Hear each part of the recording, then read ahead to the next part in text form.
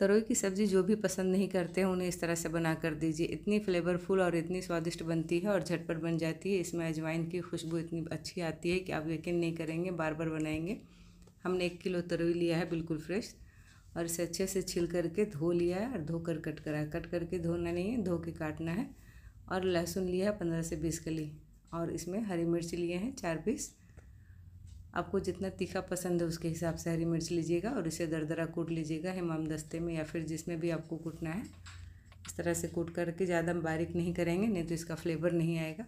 इस तरह से कूट करके अलग रख लेंगे। एक बड़ा प्याज लिए हैं, उसे बारीक कट कर लिए। एक चुटकी अजवाइन, एक चुटकी मंगरेला। इधर हम तेल गरम करेंगे मस्टर्ड ऑयल मस्टर्ड ऑयल में ही अच्छा बनता है। एक बड़ा चम्मच तेल गरम करने के बाद इसमें जीरा डालेंगे। फ़ौरन के लिए जब ये चटकने लग जाएगी, तब इसमें प्याज, मंगरेला और अजवाइन डाल देंगे।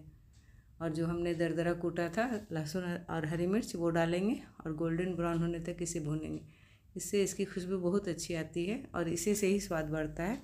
जब ये भून जाए तो हल्दी, आधी छोटी चम्मच जीरा, भुना, कूटा डालेंगे, आधी छोटी चम्मच। और तरोई डालेंगे, कट किया हुआ, और इसे अच्छे से मिक्स कर लेंगे। और नमक स्वाद अनुसार डालेंगे इसी स्टेज पे।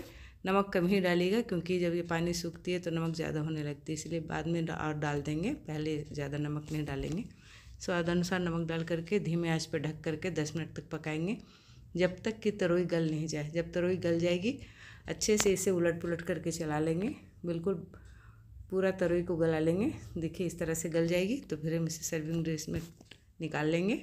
और इसे रोटी, पूड़ी, पराठा, नान जिसके साथ, चावल के साथ आप सर्व कीजिए। एक बार आप मेरे तरीके से बना कर देखिए। Thank you for watching this video